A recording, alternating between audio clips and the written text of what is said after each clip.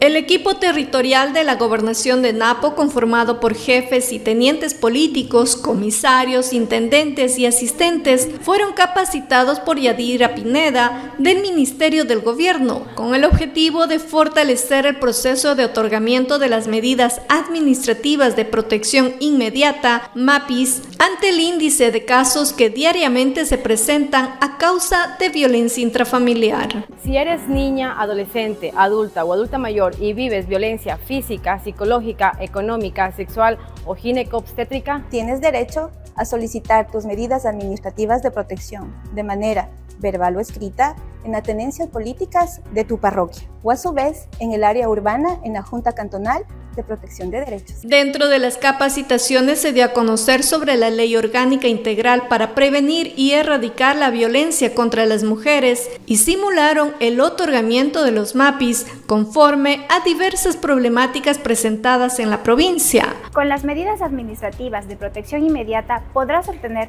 la boleta de auxilio, la orden de restricción en contra del agresor y así evitar cualquier tipo de amenaza o intimidación. Recuerda que con las medidas administrativas de protección inmediata podrás caminar segura hacia una vida libre de violencia. Una de las prioridades del gobierno nacional es brindar soluciones en territorio y trabajar articuladamente con el propósito de reducir los índices de violencia contra la mujer a través del otorgamiento de las medidas administrativas de protección inmediata por medio de las juntas cantonales de protección de derechos, las tenencias políticas y donde no existe en las primeras. Las comisarías nacionales serán las competentes para su emisión.